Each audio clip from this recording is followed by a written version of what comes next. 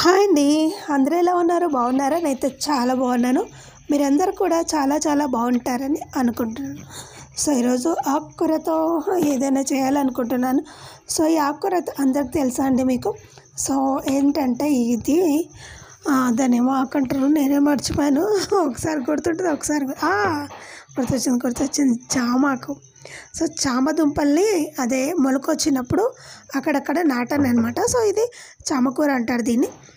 అంటే చామ దుంపలతో మొలుస్తుంది కాబట్టి చామకూర అంటారు. సో ఇది నాకు ఫస్ట్ అంతగా తెలియదు తర్వాత తర్వాత వీటి గురించి తెలిసింది. సో ఓన్లీ చామ దుంపలే తింటారు అనుకున్నా. అసలు నాకు చామ దుంపలు తింటారని కూడా తెలియదు సో అక్కడ చాలా తక్కువ అనమాట ఈ చామ దుంపలు వండడం మా వైపు. సో ఎప్పుడు చూడు గోంగూర పప్పు వంకాయ ఆలుగడ్డ బీరకాయ ఇవే. సో చామ దుంపలు చామ కూర ఇక్కడికి వచ్చిన తర్వాతే తెలంగాణకు వచ్చిన తర్వాత నేను తిన్నాను చూశాను తర్వాత ఇష్టపడ్డాను అనమాట సో అంతకుముందు అసలు ఇవి తెలియవు నాకు. సో ఈరోజైతే నేను దీంతో పప్పు చేయాలనుకుంటా పప్పు కాదు ఫ్రై అనమాట సో ఫస్ట్ పప్పుకనే తెచ్చాను. సో ఎందుకో పప్పు చేస్తే మళ్ళీ ఎక్కువైపోతుందేమో కొంచెం కావాలంటే ఫ్రై చేయాలనేసి. సో ఫ్రై చేస్తున్నాను. ఇలా ఈనెలు ఈనెలుగా ఉంటాయన్నమాట. సో ఆ ఈనెలు కోస్తే అస్సలు ఉడకవండి. సో అవన్నీ ఏరేస్తూ ఉంటారు అయినా కూడా బాగుండదు. సో అందుకని మధ్య మధ్యలో ఇలా అనుకోవాలి. నేను ఇందాక చూపించాను కదా అలాగనమాట. అనుకుంటే లేత లేత ఉండేటువంటి ఆకులు బయటకు వచ్చేస్తాయి అలా ఈనెలన్నీ బయటకు వెళ్ళిపోతాయి అనమాట సో ఈజీగా కట్ చేసుకోవచ్చు. అప్పుడు మనకు డిస్టర్బెన్స్గా ఉండదు అనమాట సో వీటిని ఉడకబెట్టి ఏవేవో చేస్తారు అవన్నీ చేసే ఓపిక నాకు లేదు. నేనైతే ఇలా ఫ్రై కానీ లేదా పప్పులో వేసి వండేస్తాను అనమాట పాలకూర ఎలా వండుతారో సేమ్ అలాగే వండేస్తాను. కాకపోతే చాలా చిన్న చిన్నగా కోసుకోవాలి వీటిని. సో అక్కడక్కడ డిస్టర్బెన్స్ ఉంది కదా ఈరోజు మా ఇంట్లో పని చేస్తున్నారు అనమాట ఏం పని చేస్తున్నారు అనేది కూడా నేను నెక్స్ట్ మీకు చూపిస్తాను వీడియోలో. చూసారుగా ఇది చాలా చిన్న చిన్నగా కోసుకోవాలి లేదంటే అక్కడక్కడ మందంగా అనిపిస్తుంది. సో ఇవైతే చాలా లేతగా ఉన్నాయి. లేతగా ఉన్నప్పుడే కోస్తానమాట తర్వాత తర్వాత సో నే ఎందుకు ఆకులు ఎక్కువగా లేవంటే నేను ఎప్పుడు ఆకులు వచ్చినా సరే వెంటనే పెద్ద కొద్దిగా నేను వాటిని చుంచేసి పప్పులో కానీ దేంట్లో కానీ వాడుకుంటాను. ఎందుకంటే మళ్ళీ కొన్ని రోజులకి అవి మొత్తం పండులాగా అయిపోయి ఎందుకు పనికి రాకుండా అయిపోతాయి అనమాట సో ఇలా ఆకుకూరలా కూడా పనికి వస్తాయి కదా అని అప్పుడప్పుడు ఇలా చేస్తాను అనమాట మీరు ఎలా వండుతారో ప్లీజ్ నా కింద కామెంట్ చేస్తే. చెప్పండి నాకైతే వీటి గురించి చాలా అంటే చాలా తక్కువగా తెలుసు. ఈ చామకూర అండ్ చామ దుంపల గురించి అనమాట. సో చెప్పాను అంతకుముందు నాకు అస్సలు తెలియదు తినలేదు కూడా. సో ఇక్కడికి వచ్చిన తర్వాత మా అత్తారింట్లో వండినప్పుడు మాత్రమే తిన్నాను అనమాట అంతకుముందు తినలేదు. చూసారు కదా సౌండ్స్ అయితే విపరీతంగా వస్తున్నాయి.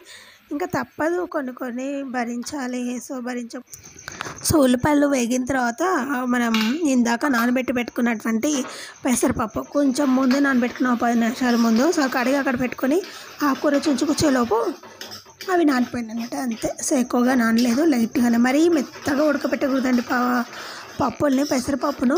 సో లైట్గానే ఇవి తొందరగానే మెత్తగా అవుతాయి. పెసరపప్పు చాలా తొందరగా అవుతుంది. ఎంత తొందరగా అవుతుందంటే అంత తొందరగా. సో లేట్ అయినప్పుడు మాత్రం ఇలాంటివి చేసుకుంటే చాలా బాగుంటుంది. సో కాసేపు కొంచెం నీళ్ళు ఉన్నాయి కదా కొంచెం మగ్గిస్తే కొంచెం పప్పు ఉడుకుతుంది.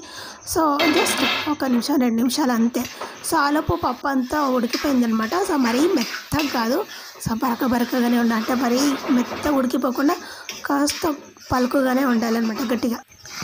ఇందులో నేను వెల్లుల్లిపాయలు వేయలేదు. సో నాకు అప్పుడప్పుడు కొన్ని వే- కొన్నిట్లో ఇష్టం ఉంటుంది కొన్నిట్లో ఇష్టం ఉండదు. అప్పుడప్పుడు మర్చిపోతుంటాను కూడా.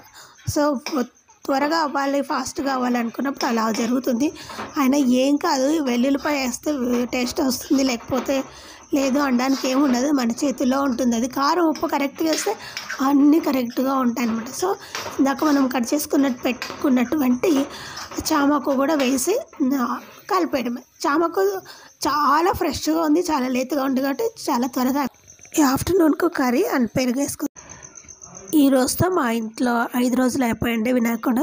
సో ఐదు రోజుల తర్వాత ఈరోజు మేము నిమజ్జనం చేస్తున్నాము వినాయకుడిని అది కూడా మా ఇంట్లో బకెట్ లేదా ఇలా పెద్ద గిన్నె తీసుకొని అందులో నిండుగా నీళ్ళు నింపేసి సో అలా నిమజ్జనం చేసేస్తాం అనమాట ఆ నీళ్ళు కరిగిపోయిన తర్వాత వినాయకుడిని సో మళ్ళీ చెట్లకు పోసేస్తాం యాస్టిస్కి సో ఎవ్రీ ఇయర్ ఇలాగే చేసుకుంటాము. సో మీరు ఎలా చేసుకుంటారో ప్లీజ్ నాకు కింద కామెంట్ చేసి చెప్పండి. సో మా వినాయకుడు ఈరోజు నిమజ్జనం అయిపోయాడు.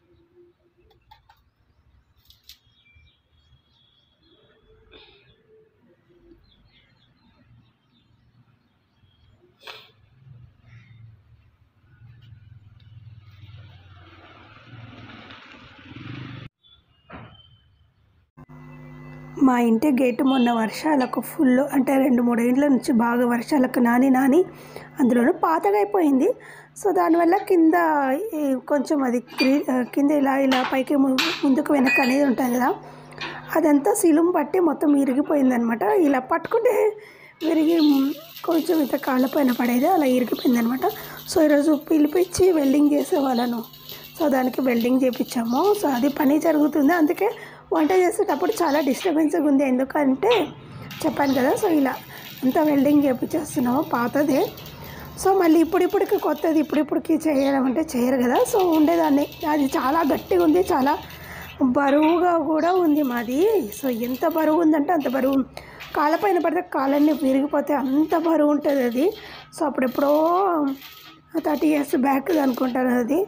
సో అంత పాతది అది. సో అప్పటి నుంచి అలాగే ఉంది. ఏంటంటే కింద దాన్ని నీళ్ళు పోవడం వల్ల అలా అయిందనమాట మొన్న ఐదు రోజుల నుండి కొట్టినటువంటి కొబ్బరికాయలు ఇవి. సో ఇంకా రెండు మూడు ఉన్నాయి. పక్కన పెట్టేశాను. సో మొన్న ఐదు రోజులు కొట్టినటువంటి కొబ్బరికాయలు రోజు కొట్టినప్పుడంతా సో తర్వాత తీసి మళ్ళీ ఫ్రిడ్జ్లో పెట్టగానే సో ఇలా ఫ్రెష్గా ఉంటాయి.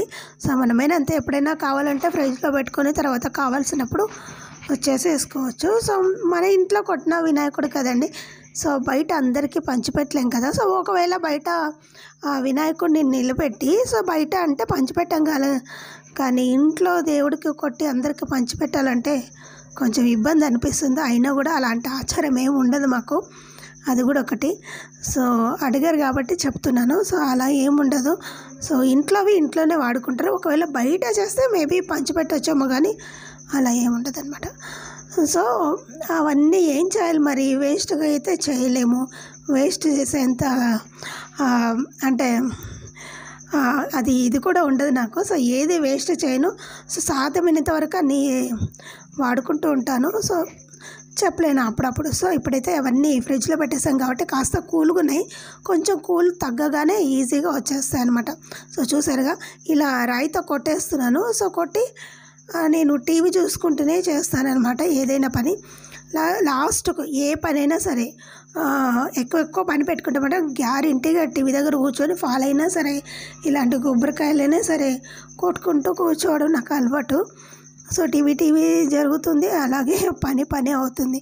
సో చాలా టైం అయితే పట్టింది అనమాట నాకు కొబ్బరికాయలు అవి తీయడానికి టైం పట్టింది. సో మినిమం ఒక హాఫ్ అన్ అవర్ పట్టింది అనుకుంటాను. సో అవన్నీ కొట్టడానికి నాకు పైగా స్టామినా లేదు. సో దానిలో కొడుతుంటే ఓపిక లేదు స్టామినా లేదు. అయినా చేయాలి లేదంటే అవన్నీ ఫ్రిడ్జ్ నిండా అయిపోయాయి. ఏం చేయాలి వాటిని? సో ఆ కొబ్బరి పీచులు ఆ కొబ్బరి టెంకలకి ఫ్రిడ్జ్ సరిపోతుంది అన్నట్టుగా తీసి వీటిని ఏదో ఒకటి చేసేయాలన్నట్టుగా తీసి ఇలా అన్నీ తీసి పెట్టేశాను. తీసి పెట్టిన తర్వాత ఈజీగా అనిపించింది. కాస్త కూలింగ్ తగ్గిన తర్వాత అవి ఇంకా ఈజీగా అనిపించింది. ఫస్ట్ అయితే బాగా ఇబ్బంది పడ్డానులేండి. చూడని తర్వాత అన్నీ ఇలా ఒకటి ఉంటుంది కదా మనకు అదే ఆలుగడ్డల తురిమేది ఉంటుందిగా దాన్ని తీసుకొని తురుమని అనమాట చాలా పల్చగా వస్తుంది ఆలుగడ్డలు తురిమేది. అంటే మనం కొంచెం థిక్నెస్గా రావాలంటే కూడా కొంచెం ఒత్తిపట్టి అనకుండా పైన పైన అంటే కొంచెం థిక్నెస్గా వస్తుంది. ఒత్తిపట్టి అన్నం అనుకోండి సో పల్చగా వచ్చేస్తాయి అనమాట అలా చూడండి. దాదాపు నాకు గంట గంటన్నర పట్టింది అవి తురమడానికి. చూస్తే కొన్ని అనిపించాయి కానీ తురిమి తురిమి తురిమి నాకు చేతి నొప్పి పెట్టాయి. సో నొప్పి పెట్టినా సరే ఇది ఒక్కసారే పని ఉంటుంది. మనకి ఎప్పుడైనా పచ్చి కొబ్బరి కావాలి అన్నప్పుడు చాలా ఈజీగా పని అయిపోతుంది అనమాట ఒక్కసారి కష్టపడితే చాలు. సో తర్వాత మనం ఈజీ ఈజీగా వంటలు చేసుకోవచ్చు అనమాట నేనైతే ఇలాగే చేసి పెడతాను ప్రతిసారి. పచ్చి కొబ్బరి ఉన్నప్పుడంతా ఇలా అన్నీ తురిమేసి పెట్టేస్తాము. ఇంతకుముందు పూర్వకాలంలో అయితే అంటే పాతకాలంలో సో మా ఇంట్లో అయితే ఇలా దేవుడు కొట్టిన అటువంటి అన్నీ సో ఇలా పేపర్ పైన పరిచి న్యూస్ పేపర్ పైన లేదా ఇట్లా తాంబాలలో స్టీల్ వాటిపైన పెట్టి ఎండకు పెట్టి మళ్ళీ అవి గట్టిగా అయిన తర్వాత సో డబ్బాలో స్టోర్ చేసి పెట్టేస్తారు. ఇప్పుడు అంత ఓపిక లేదు. తీయడానికి పోతే పైన పావురాలు ఉండనివి అలాగే పిట్టలు ఉండని అనమాట పైనంతా అవే ఉంటాయి. సో ఏ పెట్టినా పావురాలు అయితే తిని పెడతాయి అనమాట సో అవి ముట్టుకున్నాక మనం ముట్టుకోలేము. సో అదొక ప్రాబ్లం. సో దానివల్ల ఇలా ఎప్పుడు నేను స్టోర్ చేసి పెట్టుకుంటాను అనమాట మామూలుగా అయితే జిప్లాక్ కవర్లో పెడతాను. సో జిప్లాక్ కవర్లు అస్సలు దొరకలేదు నాకు. అవి ఎప్పుడో మళ్ళీ పని లేనప్పుడు దొరుకుతాయి అనమాట ఇలా పని ఉన్నప్పుడు అస్సలు దొరకవు నాకు. సో ఇలా అన్నీ చెక్కి చెక్కి పెట్టి నేను ఫ్రిడ్జ్లో స్టోర్ చేసి పెట్టుకుంటాను అనమాట సో అంతే అండి వీడియో. మీకు ఈ వీడియోస్ తప్పకుండా హెల్ప్ అవుతాయనే భావిస్తూ ఇంకా సెలవు తీసుకుంటున్నాను. ఎందుకంటే చాలా ఓపిక లేదు. పొద్దున్న నుంచి నాన్ స్టాప్ అని ఉంది ఈరోజు. అయినా సరే వీడియో పెడుతున్నాను. ఎందుకంటే కొంచెం పనులు ఉన్నాయి. తొందర తొందర వీడియోస్ చేసి పెడితే తర్వాత పని లేనప్పుడు కొంచెం హాయిగా పడుకోవచ్చు అనే ఉద్దేశంతో త్వర త్వరగా మాట్లాడేసి పెట్టేద్దామని పెట్టేస్తున్నాం. అంతే అండి వీడియో. మీకు వీడియో నచ్చితే లైక్ చేయండి షేర్ చేయండి. అలాగే సబ్స్క్రైబ్ చేయడం మాత్రం అస్సలు మర్చిపోకండి. అలాగే మీ friends and family members group కూడా నా ఛానల్ షేర్ చేయండి. చూసారుగా అన్ని మూటలు రెండు మూటలు అయినాయి అవి. సో అందులో కుచ్చి కుచ్చి చాలా పల్చగా ఉంటాయి కదా. ఇలా డీ ఫ్రిడ్జ్లో స్టోర్ చేసి పెట్టుకున్నాం అనుకోండి చాలా రోజులు చాలా నెలలు కన్ఫామ్గా స్టోర్ ఉంటాయి. Thank you and bye.